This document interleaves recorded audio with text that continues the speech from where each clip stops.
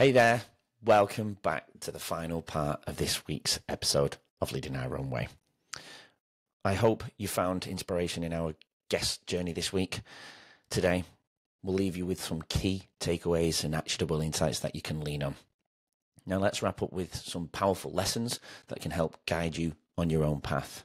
Don't forget to tune in for a brand new guest next week on Monday.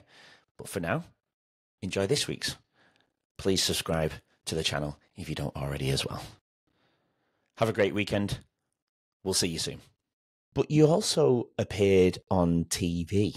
And I think this is where it, you, you, said that you, you, you appeared on TV. Tell us about your TV appearance. Have you done one? Have you done several? Or let's talk about the first one if you've done more.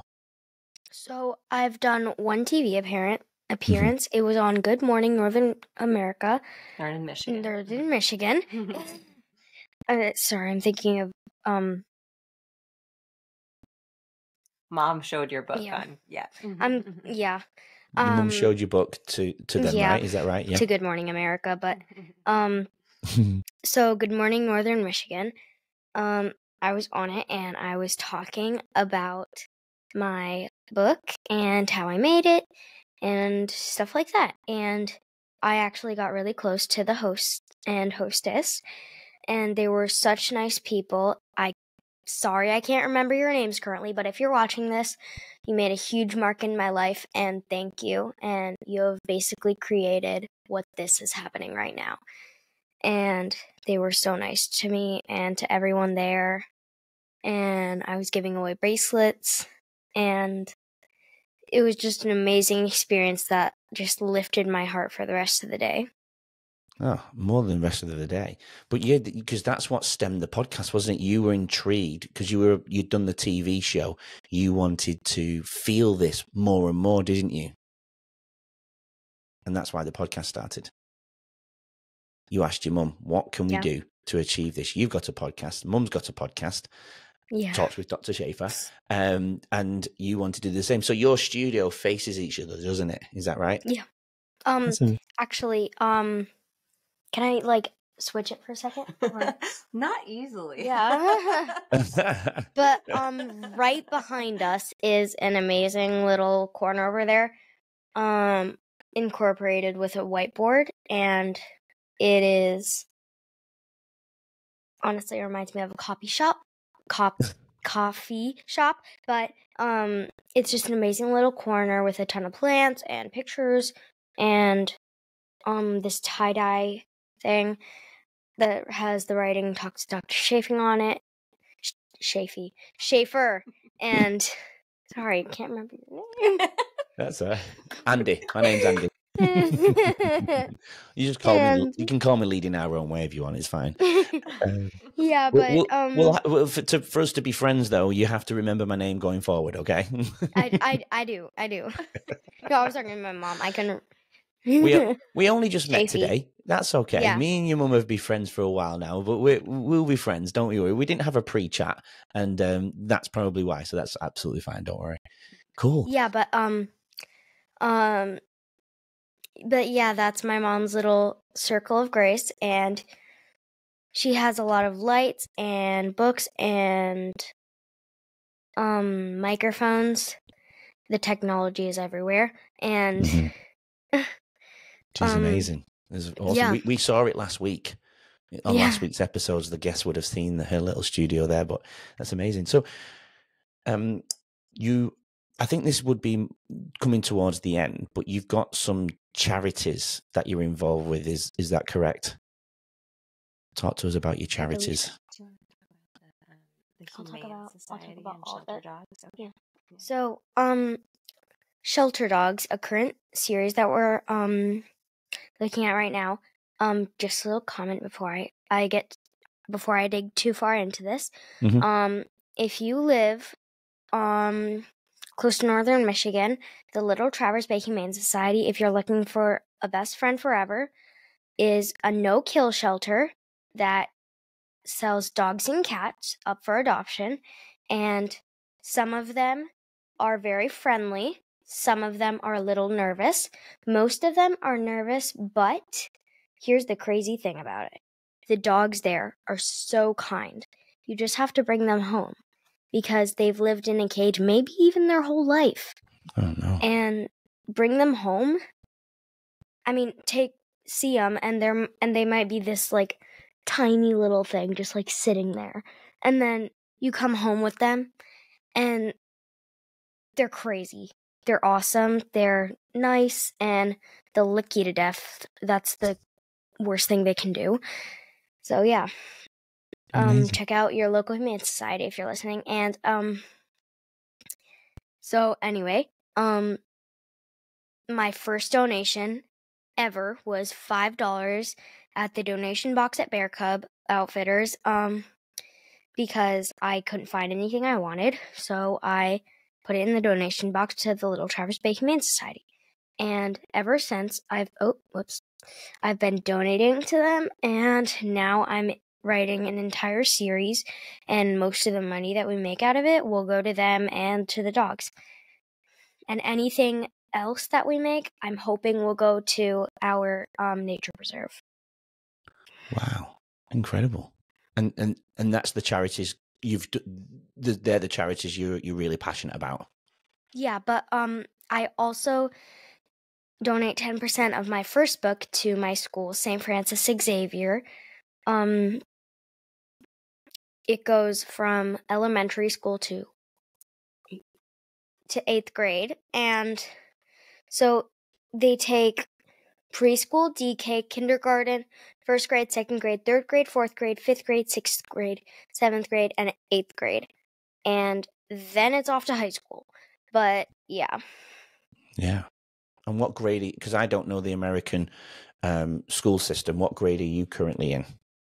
I'm currently in fifth grade. Fifth grade. Yeah. So if you came to Australia, I could potentially teach you. um, that's amazing. If you you you have a fox on your lap, Yeah. Yeah. I've been dying to know a little bit more about the fox. yes, this is Bob. He's like my personal agent and he's very chatty. He he likes it when I take him to the market when we're selling books in March there. And sometimes he'll give kids hugs, make them do a little friendship circle thing. Um yeah, he's kind of bossy though. How's he bossy? kind of bossy, aren't you? But he'll be like, "Do this, dance to the Do kids." Eh, I told him to settle down sometimes, but this is my little helper, Bob. He's really nice. Um, he's actually a warmie that my aunt got me, and um. So what happens with them is they come with a little tag that's paper, so you can throw it away, you can keep it, you can do whatever you want with it. It won't hurt anything. And so um what do you do is you take it and it's called a warmie. I'm pretty sure you can find them at warmies.com and you put them in the microwave. You set it to 1 minute and that's as high as you can set it or 90 seconds. 1 minute to 90 seconds. And um heat it up and it comes out and it's like a really good snuggler. Amazing. I like that. Well, Emily, what I normally do here at this point of the episode is I normally ask a couple of questions about what lies for the future.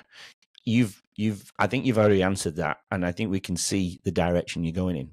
But if there's anything missed regarding about what the future lies for you, anything that you want to share before I come to my two final questions. Yeah. Um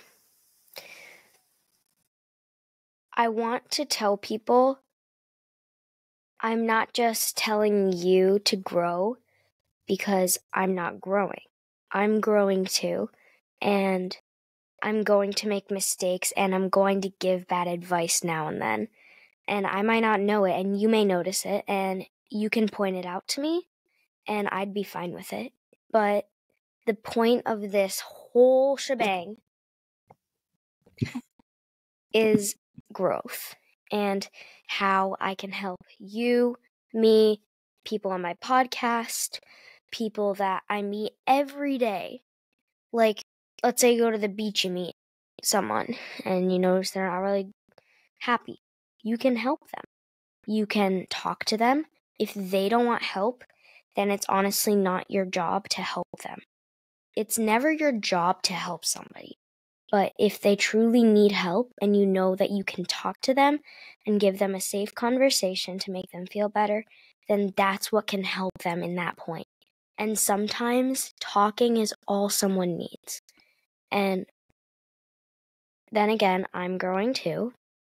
And there are things that I don't understand yet and that I will never understand. But there are things that I do understand and I can help with. Hmm.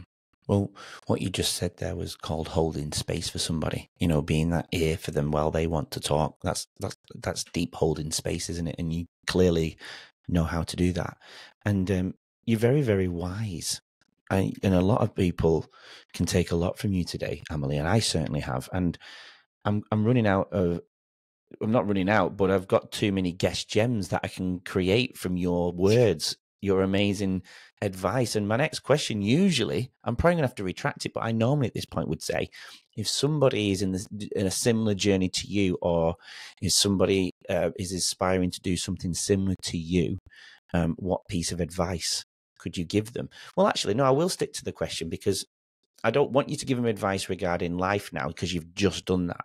But if somebody's on a similar journey to you, but they, they're in that messy middle and they don't know how to go about it, what piece of advice could you give that person? So, what you just described is somebody who is having a hard time getting to the end. They're having, like in their story, they've made it to the first five out of 10 chapters but they're stuck in the middle.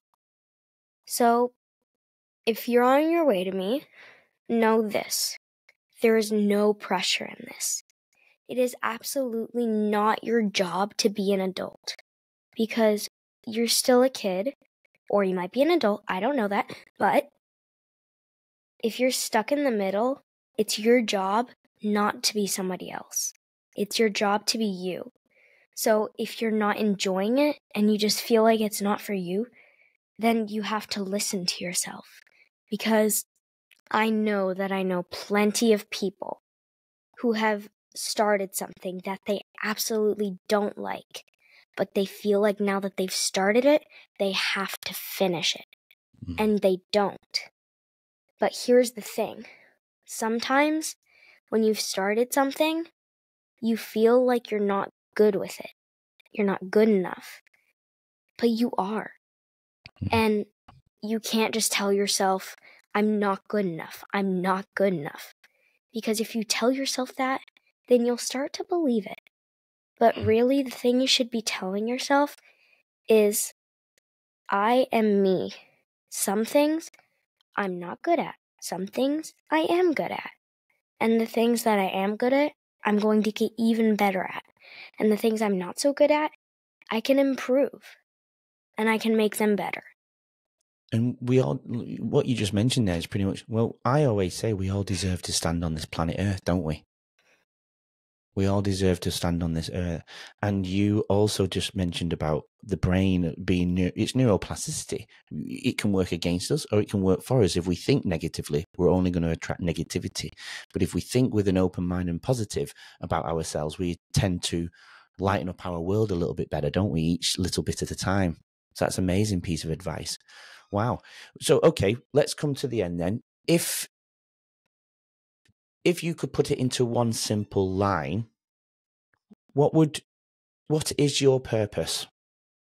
What is your why? Why do why do you belong here? What can you what do you want to give to the world?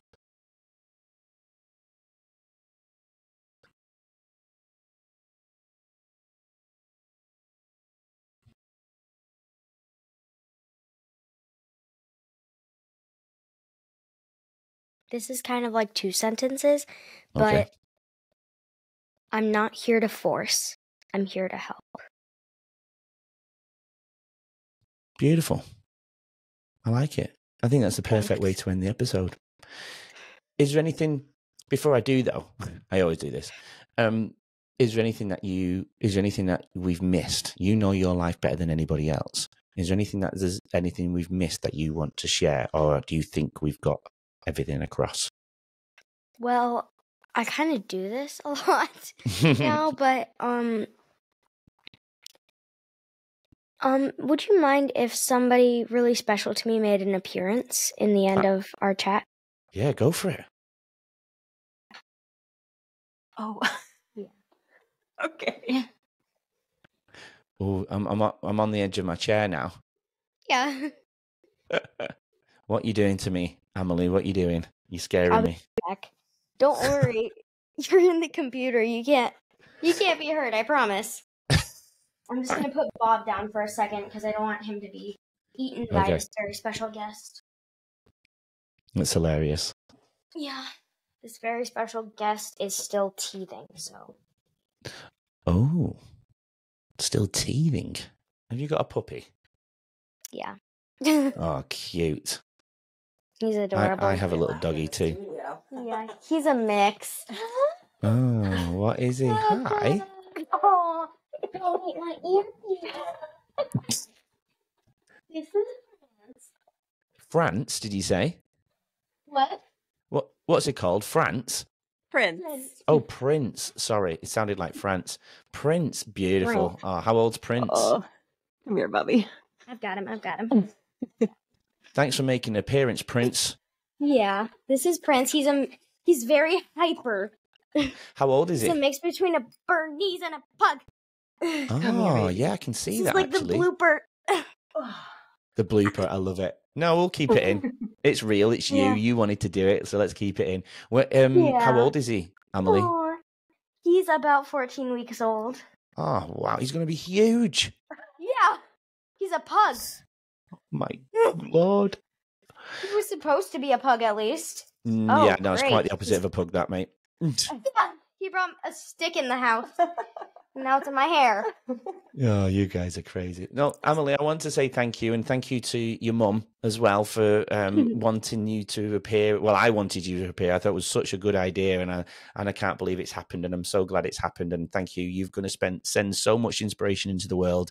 Uh, you've got a huge purpose. Don't let anyone ever pull you off or derail you. I know you won't, but keep going the way you're going and keep growing because that is the word, isn't it? We're all growing as adults, I'm still learning how to be a dad. I'm still learning how to be a, a, a guy and a good guy and all of that. And then same with you. That word grow is important. We we, we never end growing. Even even when we're old, we'll never we'll we'll keep growing, right? So thank you so much to both of you. Uh, for uh, leading your own way in the way you both are, and you in particular, Emily. And thank you for joining me on my journey. I really appreciate you. Can you give us all a big wave and say a big bye? Bye. Join us on next week's guest with next week's guest on leading our own way from Amelie, Sorry, from Amelie and I. Have a great week. Thanks for listening and watching Leading Our Own Way. So we can stay together forever and share more incredible journeys, please subscribe to the channel. That way you won't miss next week's episode and what that amazing guest has to offer to the world. Please support Leading Our Own Way, and we'll get you on next week's episode.